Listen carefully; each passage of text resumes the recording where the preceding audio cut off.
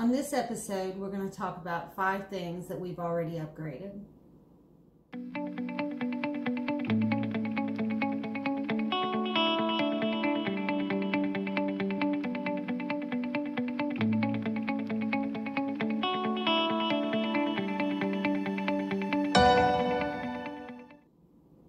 What's up YouTube? Welcome to the channel.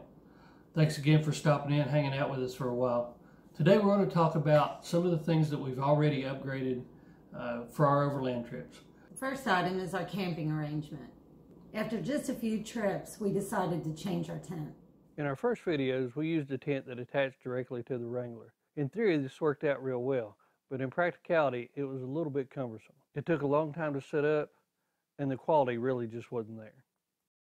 With a little more research, we decided on the Gazelle T4. Its size was in the range that we were looking for, and it's extremely easy to put up and take down.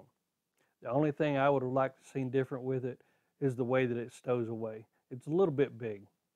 It has lots of pockets inside and way more than enough ventilation.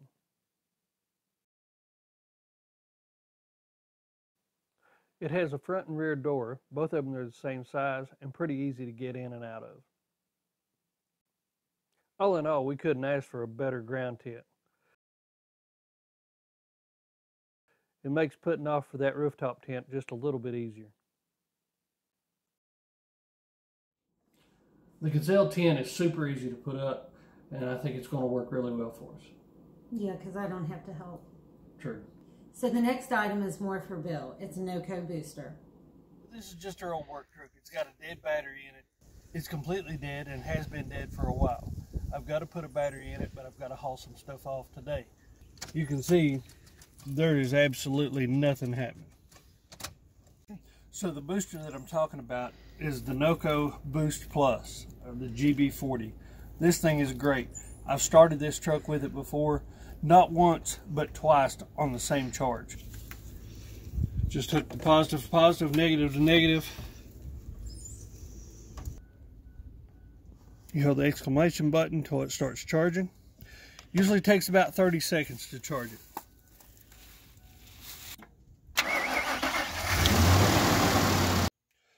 The NOCO Booster Plus comes complete with everything you need. It comes with a nice carrying bag. It comes with the cables to hook it up for a battery charger. It even has a flashlight. In addition to the light being able to boost your vehicle, it also has a USB out. Uh, that way that you can charge your cellular phone, uh, your camera equipment, laptop, whatever you want to. When you get done boosting your vehicle, you're going to need to recharge your Boost Plus. It comes with a cable, cigarette lighter adapter, so while your vehicle's running, you can charge it right back up. So the NOCO booster really gives us some reassurance that if we leave a light on or charging something and run our battery dead, then we'll be able to get started back up and be able to get out of the wherever we're at. The third item uh, coming up is one of my favorites. Um, I not only use it out on the trail, but I use it here at home too. Good tool to have with you on the trail is a chainsaw. Just not ideal to have gas in an enclosed vehicle. Our solution to that was a battery powered chainsaw.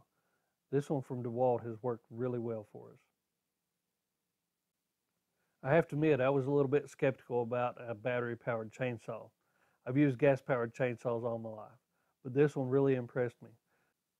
I cut two fairly decent sized trees out of my front yard with it without any problems whatsoever.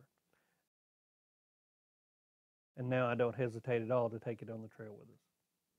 So the DeWalt chainsaw has been a great addition. Uh, there are plenty of other brands out there that you can use. I like the DeWalt. I've got plenty of batteries for them. Um, it's plenty strong enough to where you could put a little bit larger bar. I've seen some of the videos where they've put up to 14 inch bars on without any problems. And I really like the fact that the Jeep don't smell like gas. When you sit in the back seat and you have a can of gas back there, it can get really overwhelming. So next on our list is the Vector off-road bar. When we first started overlanding, we had phones laying everywhere and in cup holders and falling off of stuff. We were trying to find a place to put our tablet to where we could be able to watch what's going on. Um, and then we needed a place to put the GoPro, of course. We had it suction cupped to the window and it was kind of right in the way. So um, we'd seen it on a couple of other YouTube channels. We liked the the Vector off-road bar, and that's what we went. It's been really good. I've got my phone set up uh, over on the left side.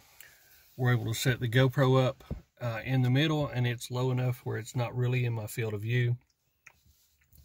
We've added a charger um, there uh, for a couple different USB ports.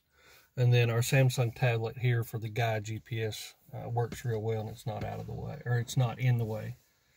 And then the bar extends all the way across to the passenger side, and at some point, uh, we're going to put a phone mount over there as well.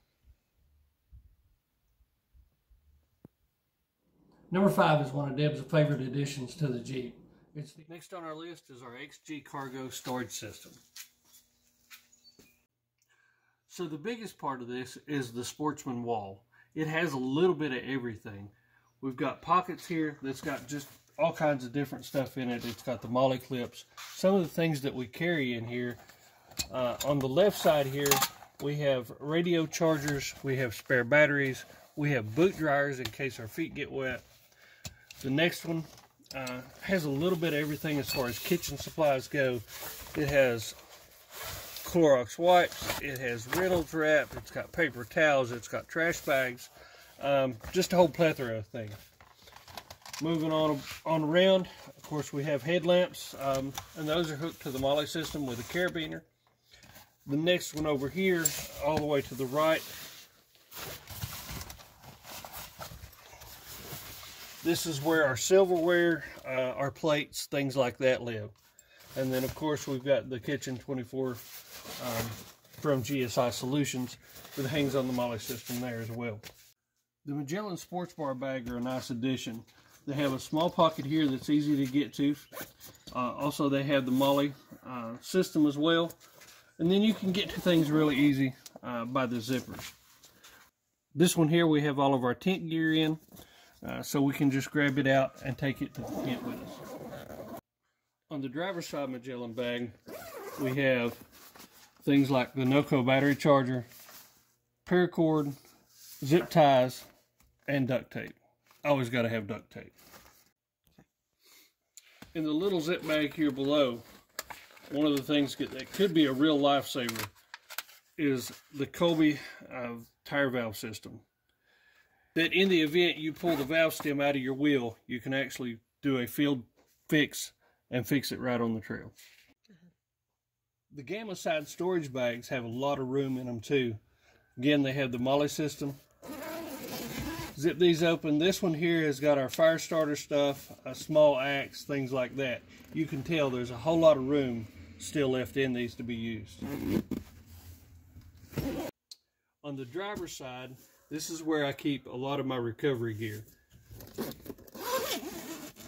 Our tree saver from Smittybilt, as well as our tow strap. And if I really get in a bind and I need to take this with me, it's easy to pop out.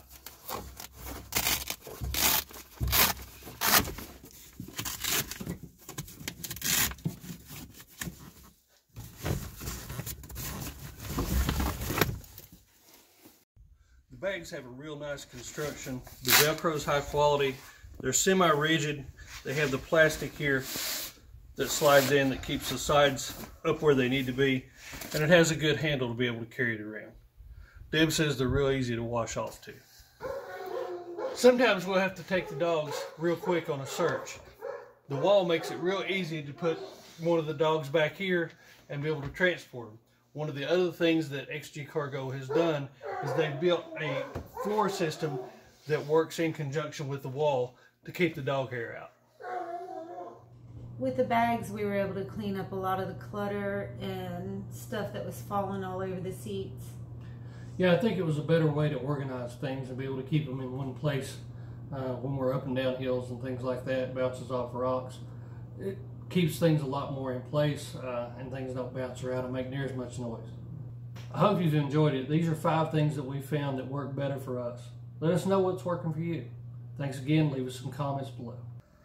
When you're bored at home, COVID 19 results.